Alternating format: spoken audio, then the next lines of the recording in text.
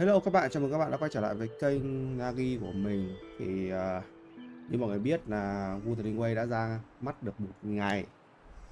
Và yeah, nó không được ổn cho lắm. Uh, Có rất là nhiều lỗi xảy ra. Uh, Đối với mình thì ít thôi Nhưng đa phần nó đến với những người chơi khác Thì hiện tại là họ đang còn plan cái game này nó rất là nhiều ấy. Thì thôi thì cái video này của mình mình sẽ nói lên cái ý kiến cá nhân của mình. Mình sẽ có khen và cả có chê nữa. Nhưng mà tất nhiên là chê nó sẽ nhiều hơn rất nhiều. À, thế chúng ta bắt đầu luôn nhé à, chúng ta sẽ bắt đầu với khen trước đi. Là khen khen cũng khá gọi ít đấy. À, đầu tiên là về cái uh, mô đồ nhân vật thì cái đấy thì thôi chắc tôi không phải nói rồi. À, tôi, tôi chỉ có thể dùng từ đẹp thôi. À, nhìn nó rất là hợp nó rất là hợp mắt của tôi còn đối với người khác như thế nào tôi không biết. Nhưng mà cá nhân tôi tôi thấy nó rất là hợp mắt. Cái đấy thì không có chê, đúng không? Cái thứ hai là cái con bát. Cái con bát nó rất là smooth. Tôi chỉ có thể dùng từ smooth thôi. Kiểu, mọi thứ mọi thứ nó rất là cân bằng ấy. Tức là nếu như bên kia có nhiều combo thì các bạn sẽ có nhiều skill để lé. Ngoài ra các bạn sẽ có nhiều combo của nhân vật hơn. Hay là ví dụ như là của em, mấy em như là em Daijin chẳng hạn. Em Daijin có, nếu như các bạn qua một phần tutorial ấy, thì các bạn sẽ biết rồi, em này có tổng khoảng 2 đến 3 combo trong một đòn đánh, trong một đòn combo của em nó ngoài ra thì những cái đơn giản hơn, ví dụ như là những cái daily cái daily này cực kỳ nhanh luôn nhé cái daily này là một cái điểm cộng chạy rất là nhanh luôn. Ngoài ra đối với những bạn nào mà muốn master một nhân vật nào đấy, thì các bạn sẽ có cả những cái gọi là training, những cái quá trình training cơ bản. Các bạn cần ai thì các bạn training người đấy ngoài ra các bạn có những cái basic training như là auto skill hay là dog nói chung là những cái cơ bản nhất. Bởi vì game này cũng là một không cũng không phải một tựa game dễ. Nó cũng cần một tí kỹ năng cá nhân của người chơi nữa nên là nhiều cái nó cũng ấy. Ừ. nhưng mà yeah.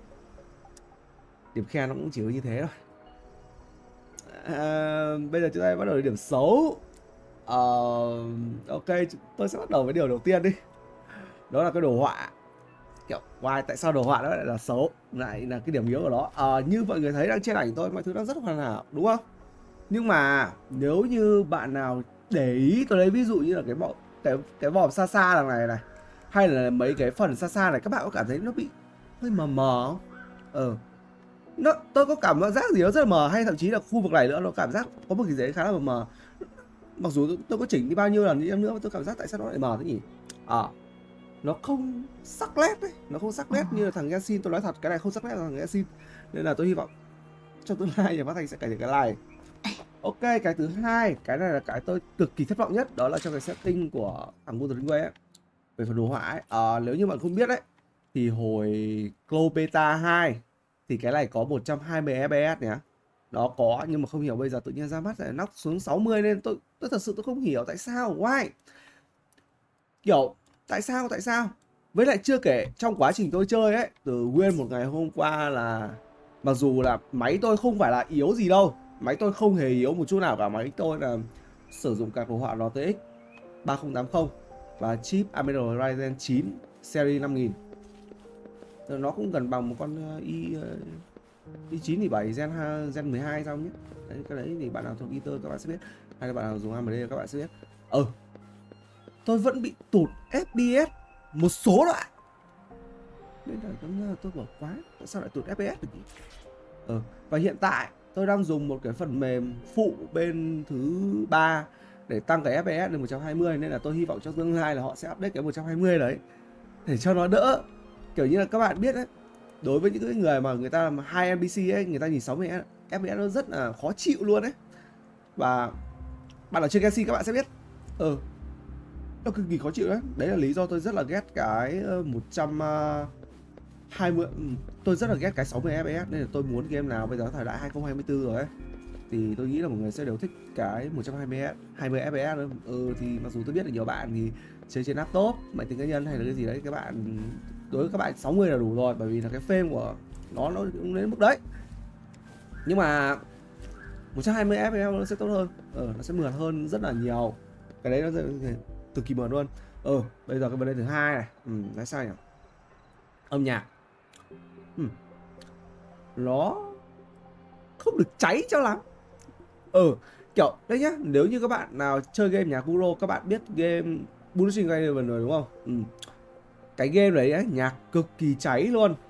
Và gần như là họ tối ưu nó rất là tốt luôn đấy. À đúng rồi nói lại thêm một phần nữa là về phần tối ưu nhá.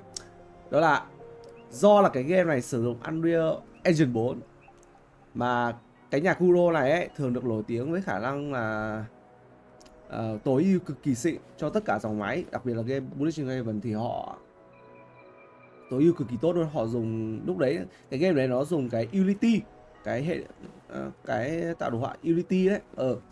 Thì họ đã master được cái Unity đấy và họ master được cái mức ấy mà các bạn chơi trên điện thoại ấy, nó không có nóng một tí nào luôn hay thậm chí có thể dùng từ ấm nữa, chỉ chỉ có thể kiểu hơi ấm ấm nữa, chứ không hề nóng một tí nào luôn. Nhưng mà sang cái game này họ lại đi sử dụng Unreal Engine 4 nên đâm ra tự nhiên tôi bỏ quá.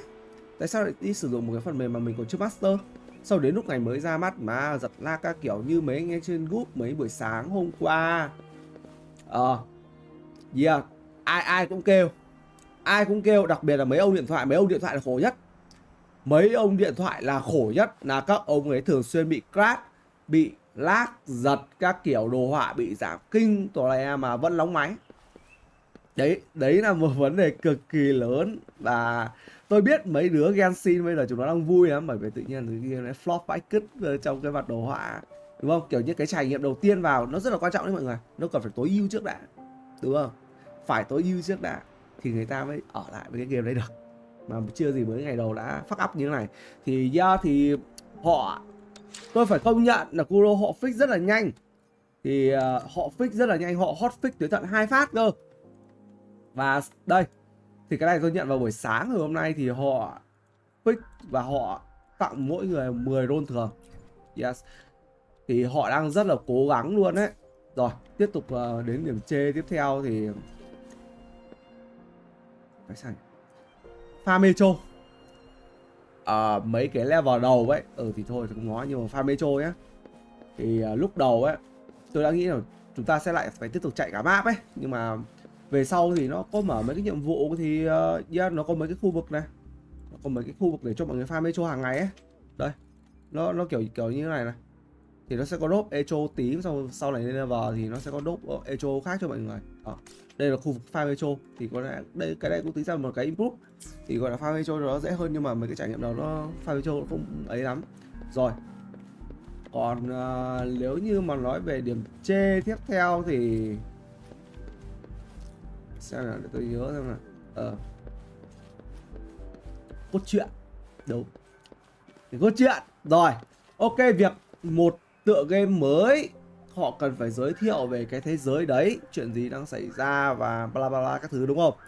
Nhưng mà đúng cái story này nó cho mọi người skip nó chỉ skip một số đoạn nó quan trọng không cho skip một số đoạn quan trọng thôi.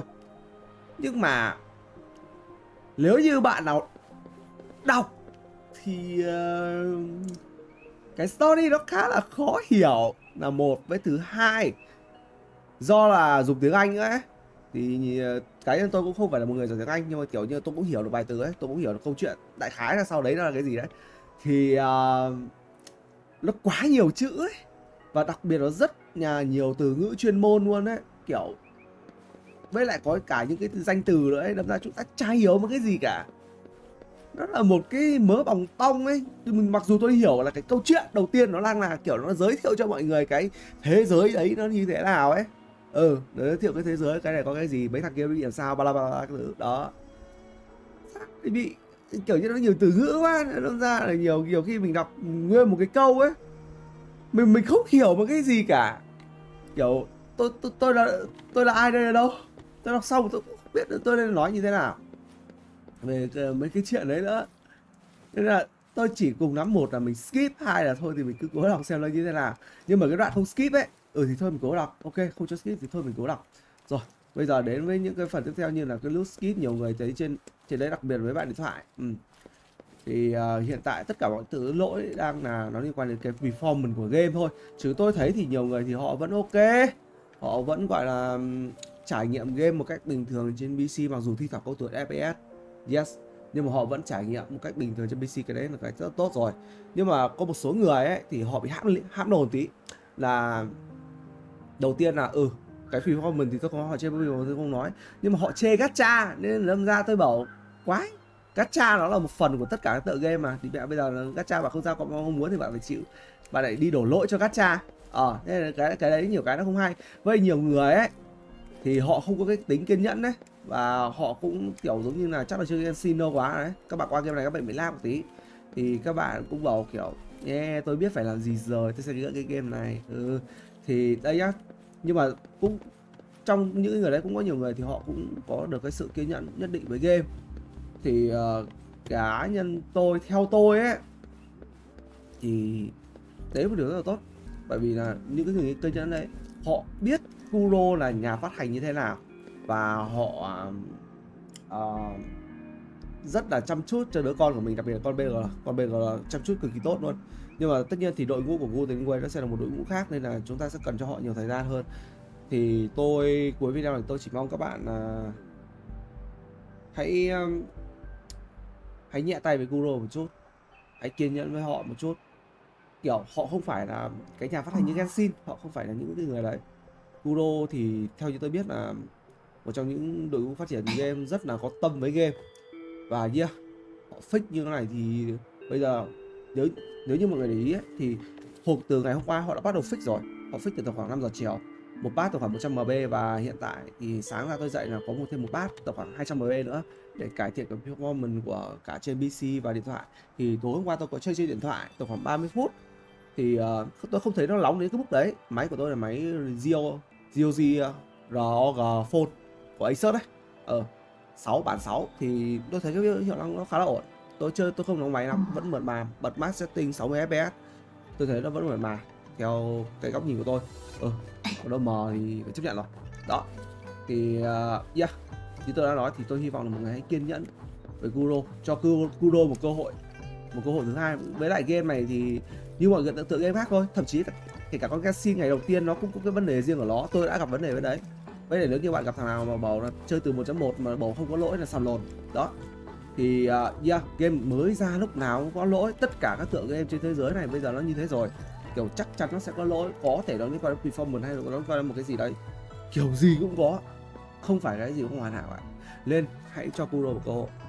Đừng tiêu cực quá và ui rồi đi mẹ ừ. làm ăn thế này thiếu thôi tao gỡ game không bao giờ quay lại. Đừng đừng như thế. Các bạn đừng như thế mình nên cho họ một cơ hội. Nếu như game đấy thật sự hay có bắt thật sự đã thì tại sao mình không cho họ một cơ hội được đúng không? Còn đâu con Gessi nó là một cái con ờ, thì bị ờ, xa combo không não nhà phát hành không quan tâm đến người chơi thì uh, chả có lý do để ủng hộ họ cả. Luôn ủng hộ những nhà phát hành. À họ thật sự yêu quý game họ thật sự quan tâm chăm sóc cho đứa con tinh thần của mình. Thì cái đấy là một điều rất tốt. Thậm chí tôi cũng là fan của Dark Souls mà tôi fan của From Software. Họ cái bot game lên trên PC ngày đầu lúc nào cũng như cứt nhưng mà tôi tôi tôi luôn tin tưởng họ luôn. Và tôi luôn đặt đúng niềm tin của mình. Thì nhà Kuro cũng tương tự như thế. Tôi cũng sẽ đặt niềm tin của mình vào họ. Và yeah hy vọng là trong tương lai chúng ta sẽ có nhiều bát fix sớm để hỗ trợ cho anh em Mobi hay là cũng như anh em DC và đồng thời unlock cái mod 120 FPS cho anh em trải nghiệm nó mượt mà hơn, đỉnh cao hơn. Thì nó mới xứng đáng cho một tựa game uh, combat hack and slash.